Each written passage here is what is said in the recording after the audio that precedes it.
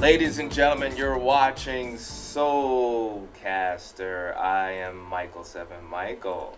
That's right, you're watching Soulcaster, everything having to do with the journey, using spiritual em- implements, faith, um, politics, social justice, and the artist, the entrepreneur journey.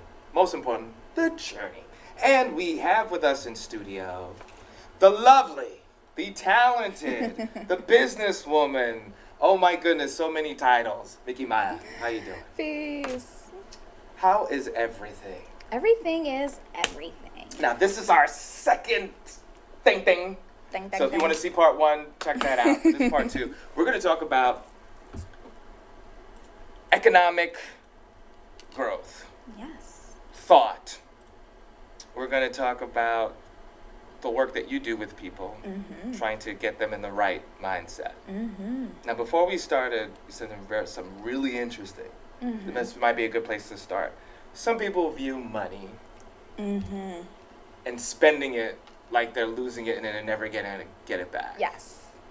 Explain that. What, what were you thinking when you said that? So there are laws of abundance. I feel like money is spiritual. Mhm. Um, and I feel like in the spiritual community, a lot of us look at money as ill currency or Mhm. low frequency, Mhm. um, which it is the lowest frequency of energetic exchange. However, it is how we eat and we pay bills and we live and keep clothing and food.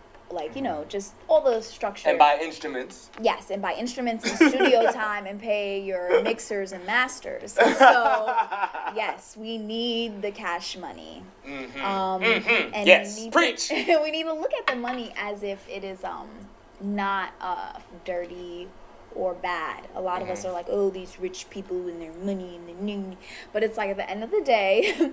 everyone's entitled to whatever it is that they earn.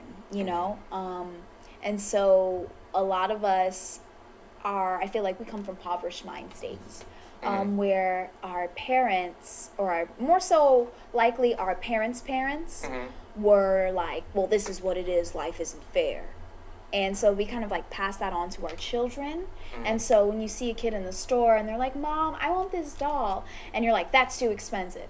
And it's like in that instant right there, that child is now being uh, put into a box in a perspective that they'll probably carry for the rest of their life as this is something that I cannot afford. Um, and I feel like we should never express that to ourselves, let alone to children or the youth or people who are even our friends. You can't afford that, or you know what I mean. There is a, there is there is a way to be responsible. Now I'm saying if you can't financially make it into uh, a forty thousand dollar Well, car, Well, wait a minute. Little Jimmy. little Jimmy. His apartment's really small. Mm-hmm. He's real tight on rent. Yeah. But little Jimmy got a really nice car. Okay. I mean, wouldn't that be responsible? Be like, Jimmy, you really can't afford that car because the other aspects of your life are like, are yes and i feel like that is ill advice like You that know? that's um something that a lot of people i feel like we still do out of our impoverished mind state so Right. i feel like the show. the show is another part of the impoverished mind state is Right. um having a $30000 watch on and taking the train Right. um for me it's like you know i'm not saying you can't do both Mhm. uh, but it just it just says something about your priorities sometimes Mhm. Now, when you work with artists, how's this translate? Because that's just a general thing for anybody. yeah But specifically, how does this work with artists when you work with them and So, so when I'm working with my peers, I'm working with other people who are looking to build the kind of uh, structure that I'm looking to build, which is generational wealth for real. Mhm. Um, uh, being able to implement structure in community that will outlast my lifetime. Um, and that will take billions of dollars. And so Mhm. it's not an easy feat, and it's not something that you should ever look at as impossible because I feel like if uh, 10 year old me, impoverished mind state me, was being told that one day I would be a billionaire, I would be like, "Mm, I don't know about that. That sounds crazy. And you can tell me now, uh, you can be a trillionaire, and I would believe it because I am abundant and I'm capable of honing into that abundant energy, regardless of what I have now. regardless of what I spend, regardless of what I make, um, it always comes back.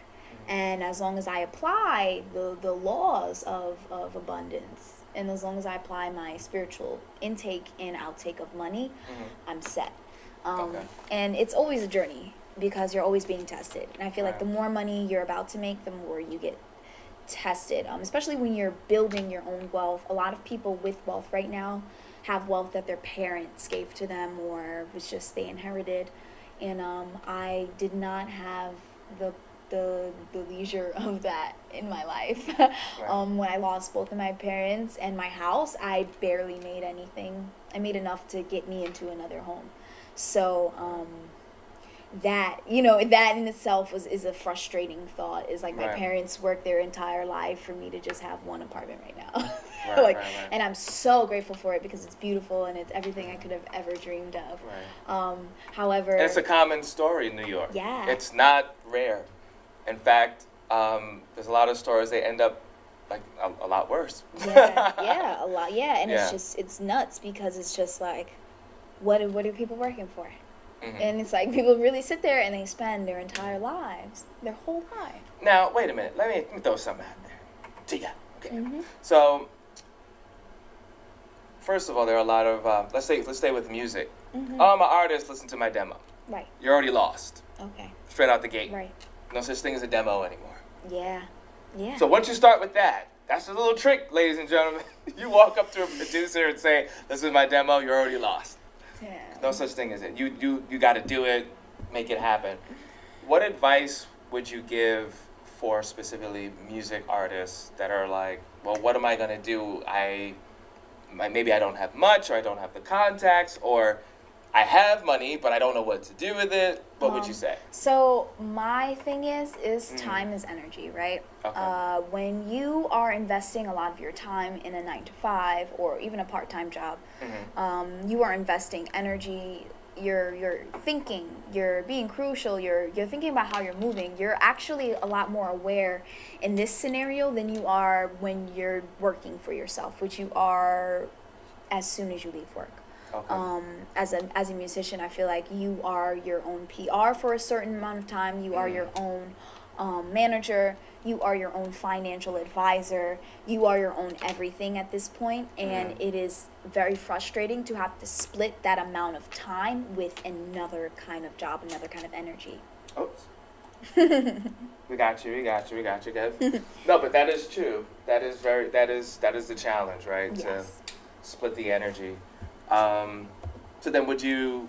I Re- would recommend that people invest 100% of their time into their business. Okay. If you are a singer, a rapper, or any kind of musician, you are the CEO of a company that has no workers, which means you should be doing uh, 24 hour work days. And you can't do a 24 hour work shift when you are working for fucking like what? What are people making now? Like $15 an hour? Mm. um yeah or if, minus taxes right, right. um so so even if you are making about that much it it's it's not worth it um even if you are making like 25 to 100 dollars an hour it's not worth it when you have another career um i've been seeing this a lot But wait a minute. I got uh, maybe I'm married. Maybe I have a kid. oh, well you have um, children that's a and different- maybe you know whatever the situation. But even if you don't, I got bills to pay. right So I got to do that nine to five. Right. Then, well, then what do I do? Like, do I go to the Uh, do, I- do I go to the open mics? Do I try to build a team? Do I get a manager? build. So I feel like, Like, if you're what do I do? if you're not in the position to automatically demand money for your performances, Mm. build. Build footage, build structure, build social media. Mm. Show people I have value. Show people what your value is, even if you have to show it off for free for a little while. Do open mics or do whatever it is. Mm. Invite people out. Like I said, get a lot of footage. Make sure that you leave a footprint in, in whatever it is that you're doing, and then you'll be able to say, "Hey, this is what I can do to you." When you go to a club and say, "Hey, I want to perform here," or someone is booking you for a show. Um, if they're booking, this is advice. If they are booking you for a show, Right, right, there right. is a budget. You are just not asking for it. there is a budget for every artist for every show, regardless of how cheap or how well put together or poorly put together it is, there's always a budget because it takes money in order to put these events together. So when they're hiring uh, artists like like me for instance if they're hiring me to do the show they like what i they see my value already. They, they Right. came to me. Um, i now have leverage over them. As a person who's providing a service for your event Right. you have to pay me for my time. And you have to figure out what your time is worth. If you have bills if you have things to pay you got to figure out how to incorporate that into your value.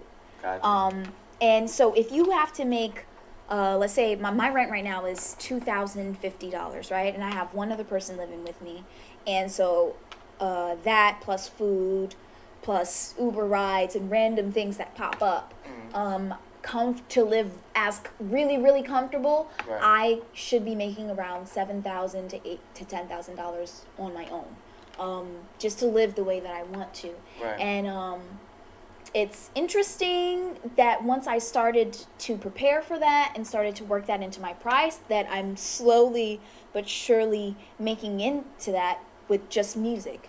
Um, so, you know, it doesn't, it's not something that happens overnight, but it doesn't start with you working and putting all your time into making somebody else rich, ever. It just never happens like that. And I, I hate to break it down like that, but I quit my job three years ago. Right. Um, I was a hairstylist in a salon. And uh, I haven't worked in a nine to five like payroll situation in a very long time. Um, I do what I do. I have a lot of different hustles, and I know not a lot of people are that talented or can like focus on so many different things and Right. be lucrative with their hands. However, if you are a musician or you any kind of artist, don't treat your form of art like a side hoe. like Right. like it's not your everything. Like you want to marry this thing. You don't want to be like, oh well, I'm gonna put all my energy and all my love into something else, Right. Because that eventually will that sh- that ship will sail. You know, music is is a jealous girlfriend. She's like, listen, if you don't give me everything, Mhm. I don't want you. Wow. So dun dun dun dun dun dun dun dun dun dun. There's a lot of people might just say that just for life. That's super interesting. Mm-hmm. All right, so how do people connect with you to hear more of, you know, your thoughts and your experiences in So- reference to economic building? How does so how does that um, work? So a lot of what I do is geared towards women. Um, I do do integrated um, workshops with men and women, but for right now, I'm focusing on a group called Healing Hiatus, Mhm. which is a social media and a website. Mhm. So you can find everything at Healing Hiatus, healinghiatus.com, Mhm. Healing Hiatus on Instagram. Okay. Um, and basically, it's a community of women um, all over the world, Mhm. um, mainly based out of here in NYC, but Mhm. um, women everywhere who are healers, entrepreneurs, musicians, creatives, um, looking to be able to present their their gifts and be able to um, help one another build in this community and um, make make each other money, make each That's other cool. uh, friends, Right. uh, give each other support system emotionally, financially, Right. and um, I'm hoping to build a very tight knit but large community eventually with Yeah. um, with me as a brand. Awesome. Well, thank you so much for adding that because I thought this was really important just to share that with people. Thank you. Because, um, and I like the fact that you mentioned the support because there's the physical, you know, money exchange energy, Yeah. but it's that that desire, that passion, and that support of that passion to keep you going. Yeah. That's super important as well. Mm-hmm. So again, what is your social media? Let's put this up there. Yes. It's at Mikki underscore not. Awesome. So that's that. And that's not you. That's me. Hey. Yeah. Hey. Thank you so much. You're watching Soulcaster, and um, yeah, any anybody that you think we should be interviewing, definitely hit us up. And again, thank you so much for coming. And you're always welcome to come by. Okay. If you, if you got any pieces or something Yes. that you want to highlight or something, you know, Mm. with the uh, actually show, show the folks that really quick while we get the music pumping up. cool. Thank you so much. Thank you. Soulcaster.